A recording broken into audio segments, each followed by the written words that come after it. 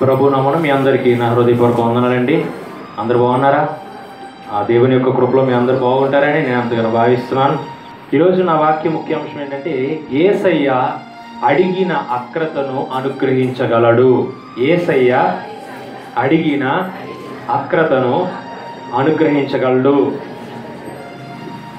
ఒక తల్లికి ఒక కుమారుడు లేక కుమార్తె ఉంటే ఆ కుమారుడు లేక కుమార్తె అమ్మ నాకు డైరీ మిల్క్ కావాలి.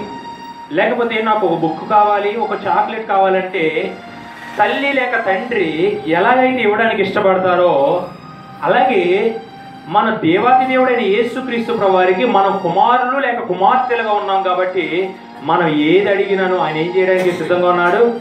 అనుగ్రహించడానికి సిద్ధంగా ఉన్నాడు. ఆస్వాదించడానికి సిద్ధంగా ఉన్నాడు. ఒక తల్లికి కుమారుడు లేక కుమార్తె ఉంటే ఎంత త్వరగా ఇవ్వడానికి వారిని సంతోష పెట్టడానికి వారిని ఇబ్బంది లేకుండా మంచి స్థితిలో చూడాలని ఎంతో ఆసక్తితో ఎలాగైతే ఇస్తారో మన జీవితాల్లో కూడా ఏసై ఏం చేస్తాడు? అనుగ్రహిస్తూ ఉంటాడు. కీర్తన రెండో అధ్యాయం ఏడు వచ్చిన మనం చూసినట్లయితే నీవు నా కుమారుడవు నేను నిన్ను కని ఉన్నాను. దేవుడు ఏమంటున్నాడంటే నీవు నా కుమారుడు అయ్యా లేకపోతే నీవు నా కుమార్తెవయ్యా? నేను నేనేం చేస్తున్నాను? కని ఉన్నాను. ఈ లోకంలో తల్లిదండ్రులు మన కన్నప్పుడు మన యొక్క ఇబ్బందులు లేకుండా మన యొక్క సమస్యలు లేకుండా మన యొక్క పరిస్థితులు తారుమారు కాకుండా వారు ఎంతో కష్టపడి చూస్తూ ఉంటారు. అలాగే దేవాది దేవుడైన యేసుక్రీస్తు ప్రభు వారు కూడా నిన్ను నన్ను మనలందరిని కని ఉన్నాడు కాబట్టి మనం ఏది అడిగితే అది ఇవ్వడానికి ఇష్టపడుతున్నారు. అందుకని ఎంతో వచ్చిన ఏమనుందంటే నన్ను అడుగుము జనములు నీకు స్వాస్థ్యముగా ఇస్తాను భూదిగంతములంత వరకు సొత్తుగా ఇచ్చేదను. దేవుడు అంటున్నాడు నన్ను అడుగుము జనములు నీకు ఏం చేస్తాను? స్వాస్థ్యం చేస్తాను. ఎందుకంటే నువ్వు నా కుమారుడు లేక నీవు నా కుమార్తెవు కనుక నేను నీకు అడిగితే ఏం చేస్తాను అనుగ్రహిస్తాను. కనుక నీవు అడగలుగుతున్నావా అందుకని ఈరోజు నా వాక్య ముఖ్యాంశం ఏంటంటే ఏసయ్య అడిగిన అక్రతను అనుగ్రహించును.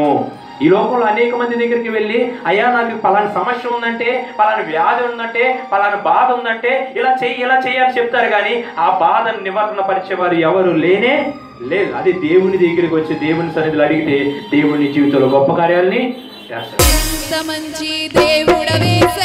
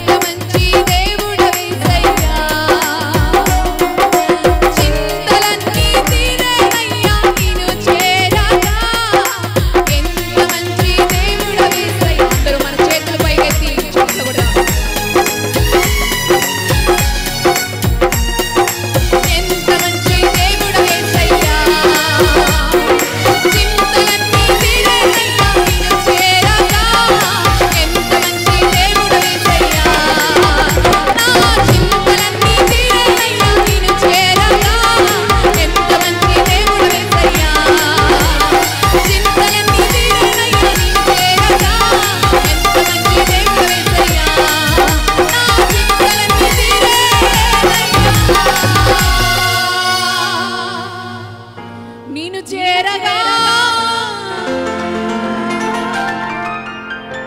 ఎంత మంచిది